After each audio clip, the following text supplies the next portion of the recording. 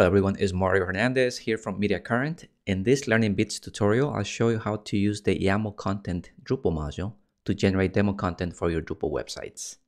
Just a full disclosure, this module was written by a good friend of mine and former Mediacurrent colleague, Stephen Lucero. I have known about the module ever since he first released it, but I never got around to using it. We do use it a lot at Mediacurrent here for uh, a lot of our projects, and in just a moment, you're gonna see why if you head over to drupal.org slash project slash YAML underscore content, you can find all the details about the module. It has pretty good documentation and even examples of how to use it. The main purpose of the module is to write demo content for your website in YAML format. This makes it possible to create entities in your site with targeted content. For example, you can create nodes, users, taxonomy terms, media entities, and more What's the difference between the YAML content and say the Devels uh, generate module?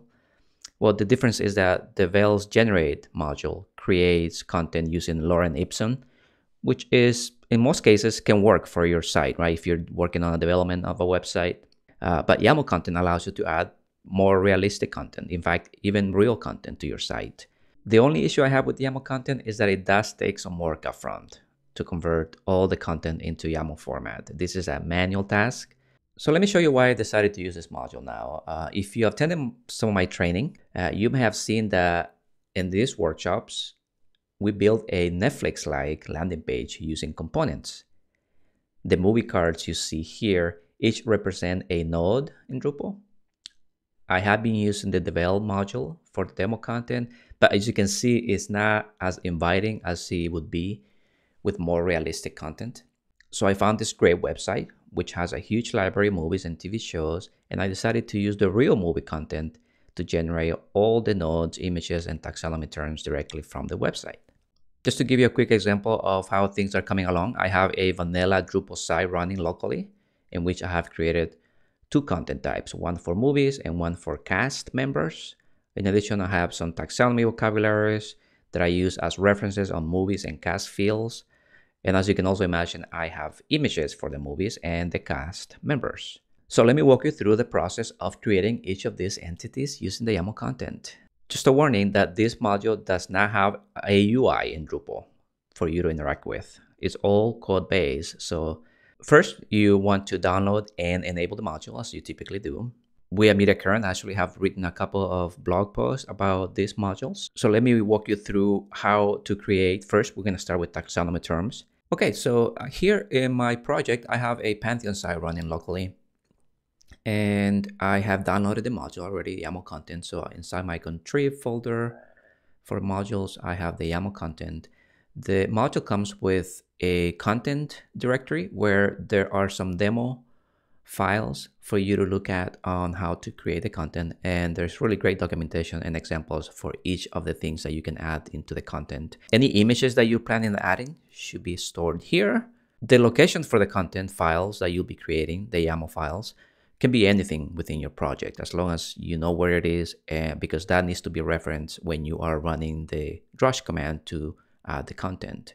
So let's start with taxonomy. If I look at taxonomy, um, the thing to know about uh, this is uh, understanding how Drupal works uh, from a perhaps naming convention, machine names, and things like that, IDs. So for uh, most things that you'll be adding, it'll be some type of entity. In this case, uh, is a taxonomy term. So that's the entity for uh, in Drupal that identifies taxonomy vocabularies. The vocabulary ID uh, in my case is called movie genre.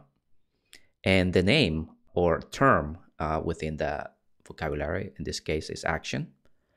Then we repeat the same process again for each of the items that I'll be adding. Then going through the same process again but this time I am using a different vocabulary.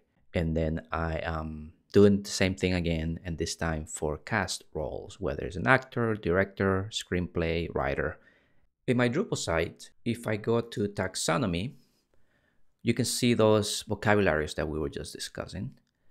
And let's say for cast role, we see the same terms that we have already added. So I'm going to add a new term songwriter. One of the things that I mentioned before is to read the README that comes with it. It's got a lot of great information. Since I am using just the demo directory that comes with the module, I'm going to actually copy this command. So I'm using Pantheon's local dev. Uh, seems to be working pretty pretty nicely. So I'm going to open the terminal that comes with it and this will bring me into the root of my Drupal application, right? So if you're using just a regular ddev or anything else, you could just navigate to the root of your site and you can run your drush commands. And uh, in my case, I'm just going to paste it here and I am going to run it. And we see that we created a lot of things. We'll focus on taxonomy for now, then we can go into the other entities. If I go back to Drupal and I reload the page, remember Songwriter, as you can see here, is not there. But if I reload the page, we see that Songwriter is now available. Let's take a look at the movie content type and let's look at the fields. This is the part that is critical to know and be familiar with with your own site, right? Is the fields that your entities have, in particular the machine names. Those are the names that you'll be interacting with through the YAML content module.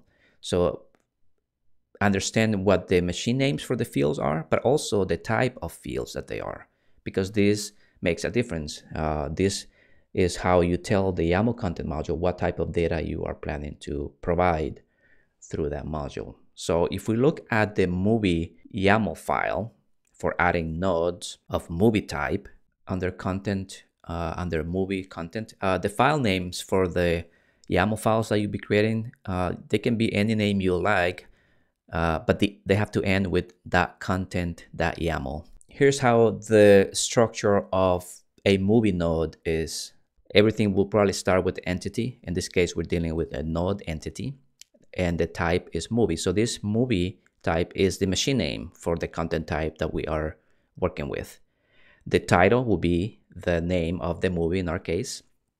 Status, uh, again, this is my first time using, so I think status means that it's published. Uh, the path um, is where you can specify the actual path for your node.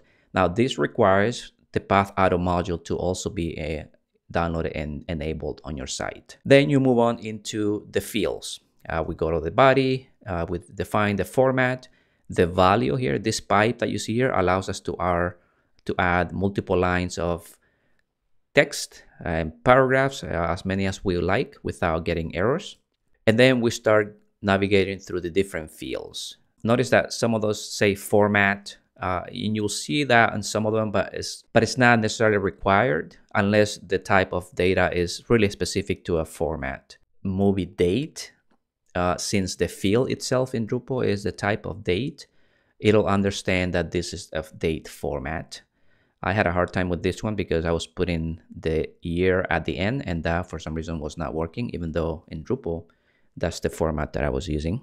And then the genres. This is when we start interacting with other entities, right? Like the taxonomy vocabularies. So you need to do a, a pre-process for this and a callback to do a reference of another entity on your site. And uh, this part takes some arguments. First, what type of reference you're trying to make. It will be a taxonomy term reference where the vocabulary ID is the movie genre that we just saw. And we are picking one of the terms from that vocabulary, in this case, animation. And we do the same for the movie cast. We are referencing a node in this case because the cast is a node type of entity. So we are referencing that node type and we are referencing the term Ellen DeGeneres uh, this here is nice. It's got a dependency here. Basically, it's saying if you uh, that this reference basically depends on the cast YAML that we have here, which should have this term. Uh, I guess this will work if if you're trying to add all of those things simultaneously at the same time. Uh, then uh, if you put in these dependencies, then uh, this YAML file, the cast YAML file, will have to have that information as well so that it can reference the node that you're creating here. Uh, and then we go into images. Now, there are different ways in which you can add images in Drupal, right? One is an image field, just a plain old image. But there's also a media reference field that can be of any type. It can be image, document, videos, right? So in this case, I am using a media type field for the poster of the of the movie, and um uh, is a media entity, and there is the bundle of image, right? Is a media reference of image, and the name of the image that I expect to see there is called Nemo. Then I specify the actual image field for my node, for my movie node, which will be field media image. And the callback is a file. I'm saying that I want to reference a file that is an image. And the file name is going to be Nemo JPEG. And here's the alt text for that. So if we look inside images, I should have a Nemo file, right? So that when this content is being added to Drupal, it needs to find this file. And the same goes for the hero. So this will be when you are looking at the full node in Drupal we repeat the process and we are saying this time the name of the file is Nemo Hero. And yeah, that's that ends the entry for for a node, right? And then we'll go through the same process all over again for a different movie. The first time is kind of hard to get all the fields, all the configuration right because you know it's the first time using it. Once you get it working once, then it's easier because you just copy and and just replacing values. If we look at the cast content is the same thing. Content type uh, node, uh, the type of cast, and we're just creating the same thing. And so let's see if we can add a new movie. So here I am in the movie database site and let's take a look at this one, Godzilla versus Kong. This is gonna be a cool movie. So this is what I typically do. I looked at the movie, obviously. I uh, the information that I'm gathering is the title, when it was released, the rating, the genre, the overview of the movie, you know, the cast, right? So, and I just go from there. So, so what I'm going to do is first I'm going to copy the last movie that I added here. It starts here. So I'm going to add some space here just to, so we know when one movie starts and one ends.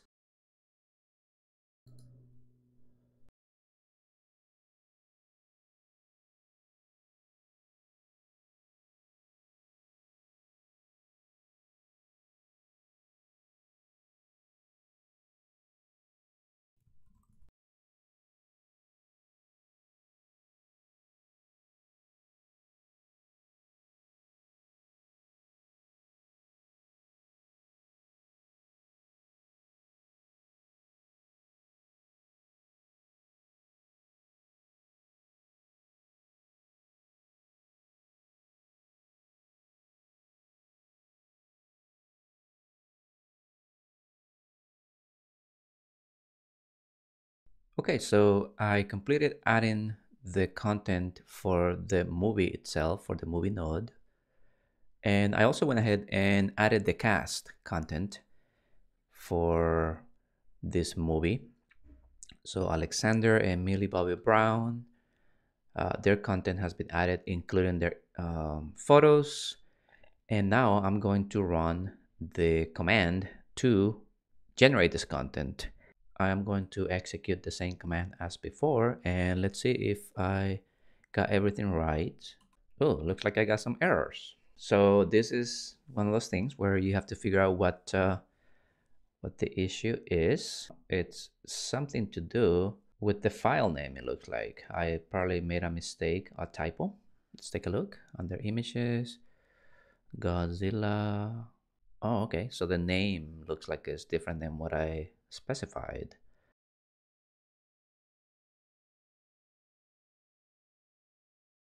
Let's take a look. All right so let's do this again. All right no errors this time. So let's take a look in Drupal. And under content let's see I see Millie Bobby Brown. I see the movie here movie type cast cast so if I open this here is our movie. Here is Alexander's photo and bio, and here's Millie Bobby Brown. Cool. If I click on her name, there's a note for her with the actor as the taxonomy term. So that worked. Again, the first time is when you may have to try a few times to add the content if you are If you made any typos or anything like that, you will have to kind of revisit that. Uh, read the documentation on the module is great. It does take some time at first to add this content, but the beauty is that once you have all these files with the content you want, then you know if you are doing development for your Drupal site uh, and you need to, for whatever reason, wipe out the database, then uh, you can quickly recreate the content just by executing a drush command and that can save you a lot of time. And not only that but it gives you content that you want. And so this will help you with that. So i hope this was helpful. Thanks for watching and i'll see you on the next video. Thanks. Bye bye